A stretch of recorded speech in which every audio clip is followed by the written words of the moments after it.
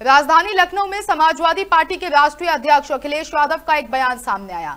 बता दें कि सपा प्रमुख अखिलेश यादव ने अपने बयान में कहा है कि आने वाले चुनाव के लिए हमने ये संकल्प लिया है कि समाजवादी पार्टी और गठबंधन कैसे जीते, उस दिशा पर लगातार काम करेंगे। इसके साथ ही सपा प्रमुख अखिलेश यादव ने कहा कि यूपी और आजमगढ़ की जनता इस बार के चुनाव में ऐतिहासिक परिणाम देगी और बीजेपी का सफाया करेगी।